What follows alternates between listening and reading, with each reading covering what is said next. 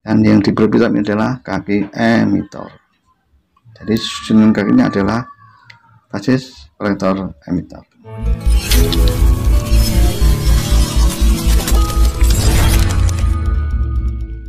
Assalamualaikum warahmatullahi wabarakatuh. Masih bersama Hadi Kreasi Channel. Pada kesempatan kali ini saya akan membagikan informasi bagi pemula bagaimana caranya menentukan kaki BCE atau kaki basis atau diameter pada sebuah transistor dan menentukan jenisnya. Oke bagaimana caranya? Ikuti video ini sampai selesai. Sebelum menentukan kaki kolektor dan emitor lebih dahulu kita tentukan kaki basis dan jenis transistornya PNP atau NPN kita tentukan saja kaki transistor ini yang belum diketahui. Ini kaki satu kaki dua kaki tiga. Dengan syarat transistor harus dalam keadaan baik. Oke, kita pasang dulu.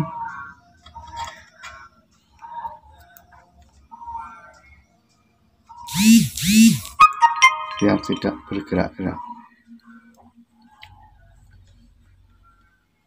Yang pertama, kita atur selektor pada posisi. Kali 1K 1 kilo. Dan kita tes apakah jumpernya bagus. Ternyata dapurnya masih bagus. Oke yang pertama kita hubungkan ya, colok merah ke kaki yang nomor satu.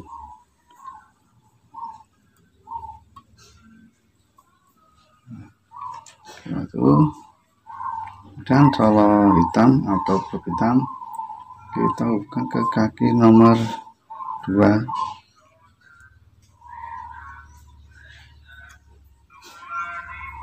kemudian tidak hasilnya tidak bergerak. Kaki nomor tiga hasilnya tidak bergerak. Kemudian kita ganti.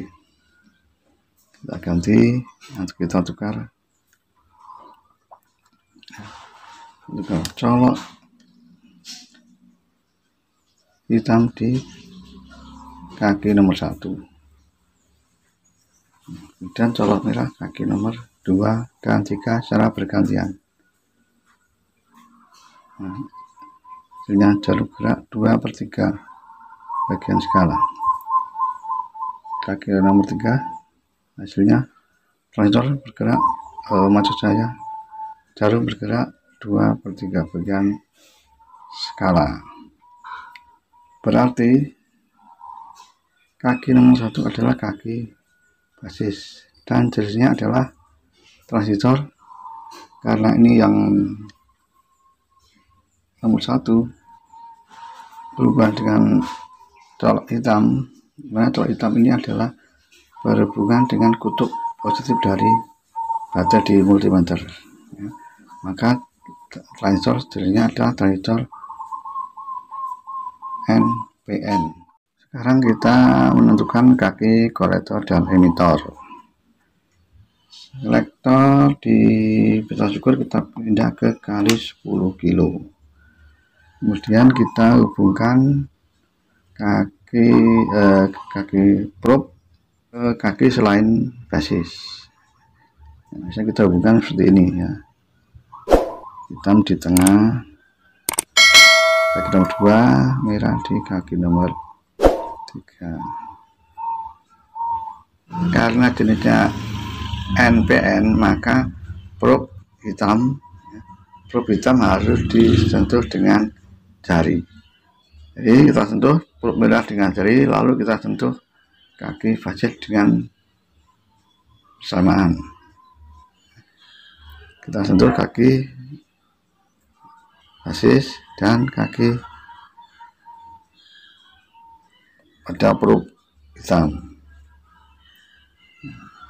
hasilnya jarum bergerak.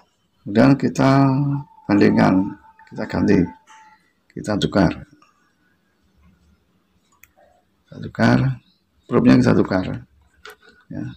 Yang kaki nomor dua kita taruh dengan prop merah. Kaki nomor tiga prop hitam.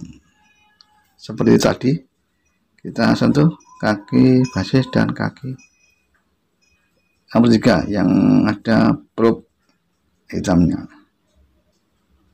Ternyata jarumnya bergerak hanya sedikit. Maka kita balik lagi. Kita menyimpulkan saat jarum bergerak lebih banyak. Kita sentuh lagi kaki basis dan perut hitam jarum bergerak lebih banyak. Atau lebih lebar. Maka letak kayu kolektor terletak di perut hitam ya. Saat jarum bergerak lebih lebar. Kaki yang terhubung dengan probe hitam adalah kaki kolektor kaki yang terhubung dengan probe merah adalah kaki emitor oke sekarang kita ambil contoh transistor yang lainnya ini adalah contoh transistor yang sejenis dengan ini. Ini adalah BD139. Kita tentukan dulu mana basisnya. Kita bukan coloknya untuk grupnya. Ini kaki nomor satu, kaki nomor dua, kaki nomor tiga. Hitam di satu, merah di dua. Selektor kita kembalikan dulu. kilo. Nomor dua tidak bergerak. Nomor tiga tidak bergerak. Nah, kalau tidak bergerak maka kita harus kita tukar. Kita tukar dulu. Kita tukar di sini tukar ini ke tengah. Nah sekarang bergerak.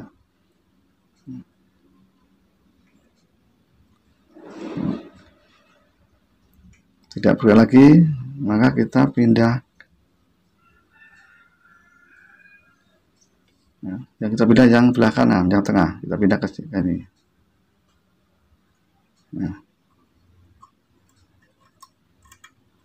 nah bergerak dua per tiga sekarang kita pindah yang kaki nomor satu.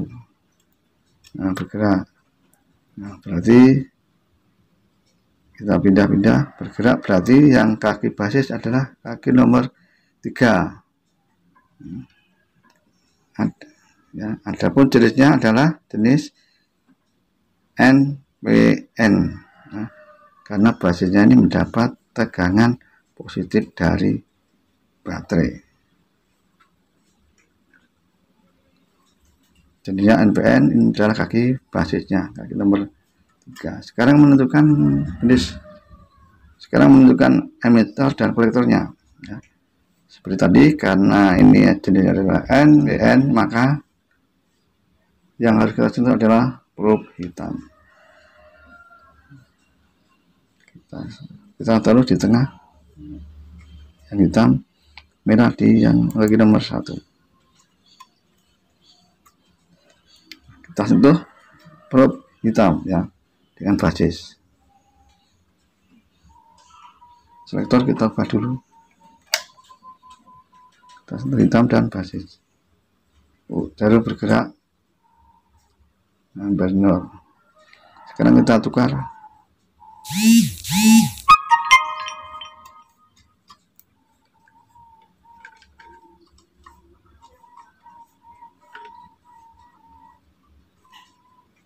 kita sentuh hitam dan basis.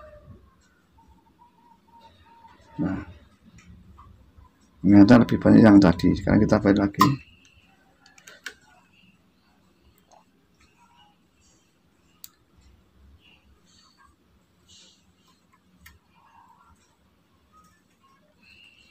Kita sentuh kaki basis dan probe hitam nah, jarum hampir nol maka letak kaki kolektor adalah yang di probe hitam. Kaki emitor adalah yang di probe merah. Jadi susunan kakinya adalah E, C, B. Sekarang contoh lagi untuk satu transistor lagi. Ini adalah transistor yang sejenis dengan tadi kita tentukan dulu. Ini selektor kita kembalikan ke posisi 1 kilo. Oke langsung kita ukur. Kita cari dulu kaki basisnya.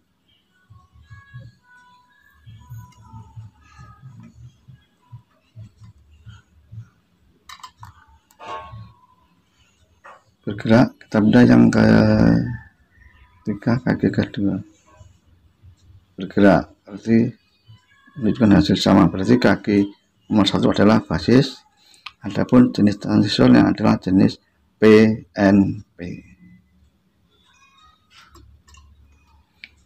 sekarang kita tentukan kaki basis sudah sekarang kita tentukan kaki kolektor dan emitter. Karena ini adalah jenisnya PNP maka probe merah harus kita sentuh dengan jari. Selektor kita taruh di kali 10 nah taruh di tengah.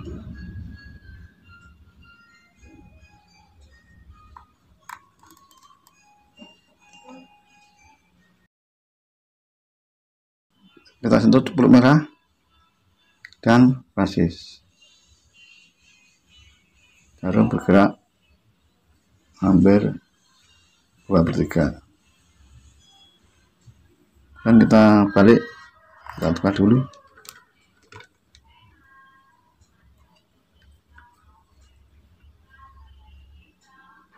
Kita sentuh basis kita sentuh basis dan perut merah. Taruh bergerak lebih sedikit. Kita kembalikan.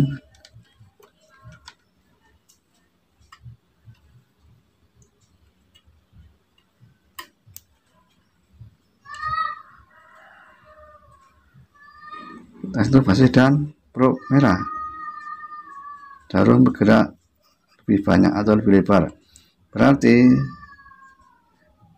letak kaki kolektor adalah di probe merah. Dan yang diperbedakan ini adalah kaki emitor. Jadi susunan kakinya adalah basis kolektor emitor. Oke demikianlah informasi cara mencari kaki BSE dan jenis transistor. Mudah-mudahan informasi ini bermanfaat. Saya akhiri. Wassalamualaikum warahmatullahi wabarakatuh